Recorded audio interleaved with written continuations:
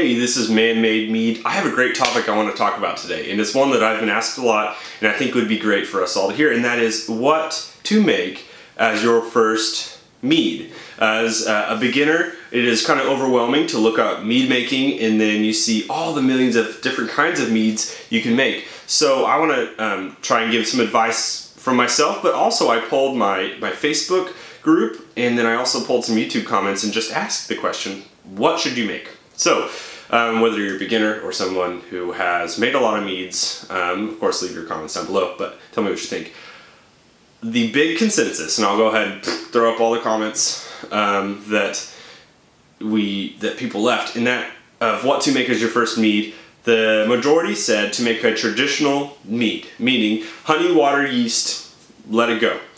And um, now there's a couple variations people put on that, but the big thing is I believe that's a great thing to do. The, the consensus that everybody said is also what I agree with. I think you need to make the simple mead first before you decide I'm going to make the crazy stuff. And that's okay. Honestly, it's easiest to go ahead and just do that. So, making a traditional mead it probably should be highest on the priority of first meads. And for anyone wanting to do that, it is as simple as, like I said, however much water you want to put in. Um, generally, about three to four pounds, or let's say two to four pounds, depending on the strength of your mead, um, uh, per gallon of water, and then a, pa a packet of yeast. I like a lot of Lalvin products, but there are a, a ton of other ones. Red Star is great. Um, there's also White Labs. Um, they use liquid yeast, so you can use dry yeast, liquid yeast, anything like that. But between those three things, basically, you have a traditional mead. And that gets you started in the world of mead making because you'll be surprised how quickly you just jump into other things from that point. But I think a lot of people get overwhelmed with wanting to make the crazy mead at first. I want to make the mead, um, you know, with all these kinds of teas and all this, you know, 14 ingredients, and that gets a little bit scary. What you can do as a beginner, and this is also what I saw a lot of people suggest, and that is to make a big batch of your first mead and then split it up. So let's say that you make a, instead of a one gallon batch to start, you make a three gallon batch. So your recipe might be something like, um, might be about three gallons of water, or let's say about two and a half because uh, honey does take up volume. Two and a half gallons of water, um, about nine pounds of honey, let's say, and then a packet of Lalvin D47, okay?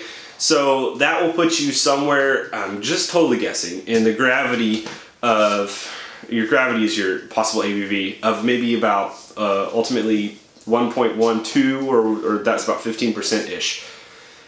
Uh, and that is a fairly strong mead, pretty normal strength mead to be frank. Um, but once that has done finished fermenting, you can take the three gallons, split it into three one gallons, and then from there decide, okay, do I want to try and put some blueberries into one? Do I want to try and put some cherries into another? Do I want to try and do this? Whatever. Um, and there, there you can try your experimentation. You can leave one normal, whatever. That's what I did with one, my, let's see, my very first three meads. that's what I did, and I am super glad I did it because ultimately it allowed me to try a bigger batch, I was able to have a lot of mead to try, but then I was also able to experiment more. And um, that's a great thing to do as a, as a beginner. It is a little cumbersome though and scary to be going out and buying 9 pounds, 10, 12 pounds of honey for your first time because that's a fair amount of honey. That's kind of expensive, but when you think about compared to buying alcohol as opposed to making it in the long run you do come out on top so that's one thing to think about so take make a big batch of a traditional break it down into a couple different parts, and then experiment with your things. Um, so that was one, making a traditional. That's the consensus, what most people said. Then there's the other route. If you want to try to be more um, just along the guidelines of, of a recipe, you can do stuff like the uh, Joe's Ancient Orange Mead, J A O M, as it's abbreviated a lot of times. That's very clear. Um, uh, recipe mead that has been repeated over and over again. It's pretty simple. Um, tells you exactly what to do. That's really nice. Um, there's also the Viking Blood, um, which is another one that people do a lot of. You can look that one up. Um, there are a bunch of various types of mead that people really like to make um, that are recipe driven. which you can do as a beginner. It's sometimes nice to go ahead and make something that has a clear, um, a clear recipe to it.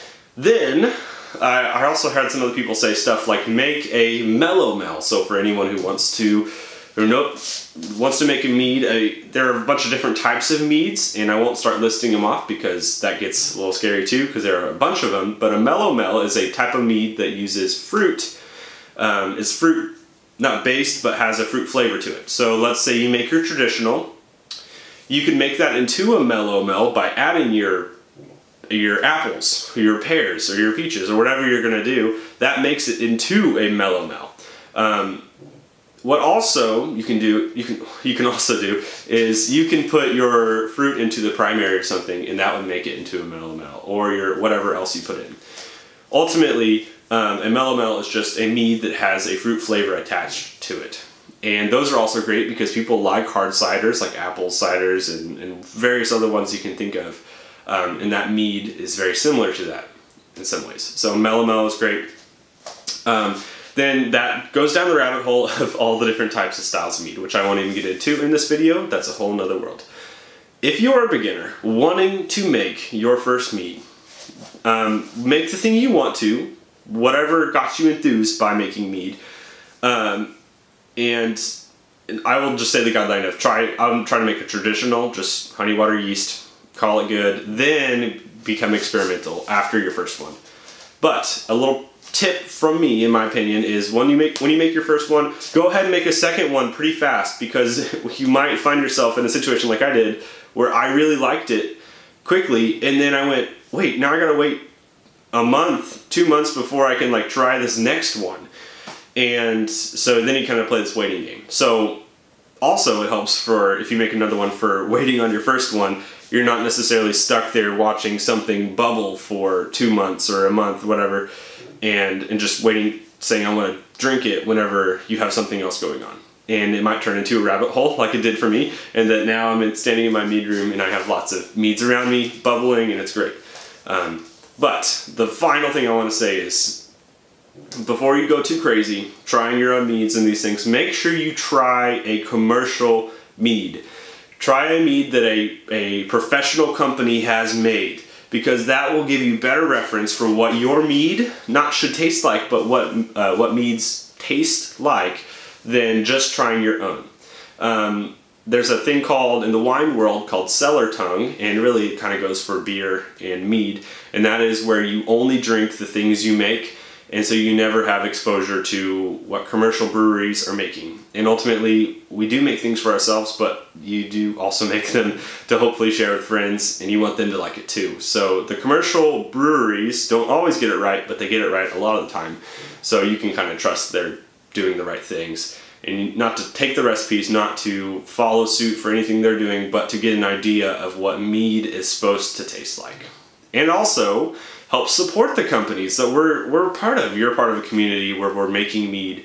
We want to to support our fellow mead makers, especially commercial breweries. Even if it does cost a little money, it's good to be supportive of those people because you one day might want to make your own commercial meads, in which case you want backing too, just like they do. So. Um, overall, I would make it traditional, but make what you want. Um, ask your friends, ask communities, get on Reddit, get on our Facebook, get on Facebook mead making groups, get on YouTube videos. Ask what people also think, and I think you'll find some of the same answers. Hopefully, I've consolidated them, but ultimate, ultimately, I wanted to um, just hopefully give you my opinion. Not that I'm the, the end all be all of the opinion by any means. So, if you want to be part of those groups that talked about this, that got to be uh, involved in, in, in doing this poll, we have our Facebook. That is www.facebook.com slash manmademeadery. That is a group that um, I call a meadery. It's really not. I don't sell my meads. I just make it. We have this community where we get to talk about making mead. It's a lot of fun. There's also YouTube. If you're not subscribed, you can join this. And I we do these videos a lot. We get to talk and communicate in that way. Um, and then I have some other links down below. I've got a Patreon where you can join and support me and, and help me uh, continue to make content for you guys. Um, and you get some perks too, which are nice too. Um, then some other links, PO Box, whatever else you want to check out. Check it down, check out those down below. Um, thank you for watching. Thank you for the people who gave me your input. I appreciate that, and uh, maybe you might be one of those people that gets to put in input for the next video that I do a community poll. So check those out. Um, very excited for the future of this channel, and I hope you guys are too. So I will see you in another video, um, and cheers.